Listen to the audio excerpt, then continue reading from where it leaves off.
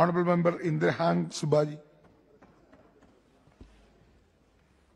माननीय सभापति महोदय आज सम्पूर्ण सिक्किमे जनसमुदायको तर्फबाट अनि सिक्किम क्रान्तिकारी मोर्चा पार्टीको तर्फबाट माननीय राष्ट्रपतिको अभिभाषणमा धन्यवाद प्रस्तावलाई समर्थन गर्न उभिएको छु आज हामी सबै खुसी छौँ हामी गर्व मान्दछौँ कि एक जनजाति समुदायको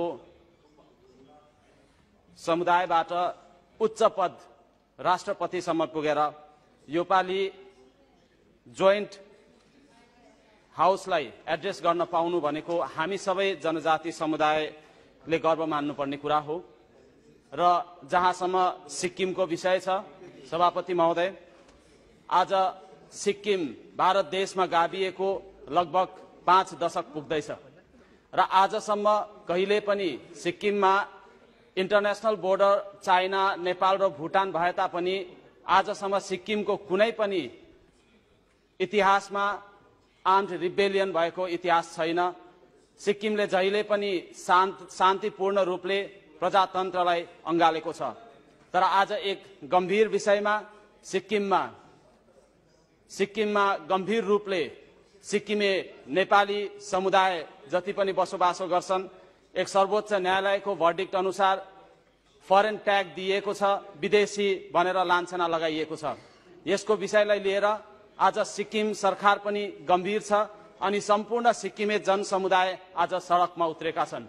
आज आठ फेब्रुअरीको दिन सिक्किम बन्द डाकिएको छ र यो कुनै पनि यो बन्द कुनै पनि राजनैतिक पार्टीले डाकेको बन्द होइन। यो यो बन्द सम्पूर्ण सिक्किमे जनसमुदायले डाकेको बन्द हो र यसलाई हाम्रो पार्टीले पनि समर्थन जनाएको छ। किनकि यसमा जति पनि सिक्किमे नेपाली समुदाय छन् र नेपाली भाषीहरू छन् ती सबै नेपाली भाषीहरूको आफ्नो आइडेन्टिटीको विषय छ र यो विषयमा पनि गम्भीरतापूर्वक सरकारले हेरि हेरिदिनुपर्ने रहेको छ। र मलाई जहाँसम्म थाहा छ आज युनियन गभर्मेन्टले पनि मिनिस्ट्री अफ ल अनि मिनिस्ट्री अफ होम एफेयर्सले पनि सिक्किमका नेपाली जनसमुदायलाई सहयोग पुर्याइरहेको छ। आजभन्दा तीन दशक अघि जब यसै पार्लियामेन्टमा नेपाली भाषालाई एथ सेड्युलमा इन्क्लुड गर्नको निम्ति डिस्कसन ल्याइयो त्यस बेला पनि नेपाली भाषालाई विदेशी भाषा भनिएको थियो।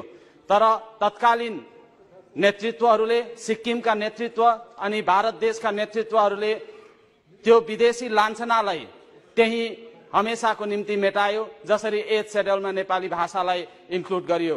आज पनि सिक्किमे जनसमुदायहरू जो जति पनि नेपाली भाषा बोल्छन् र तीन मेजर समुदायहरूमा सिक्किमे भुटिया सिक्किमे लेप्चा अनि सिक्किमे नेपालीहरू बसोबासो गर्दछन्।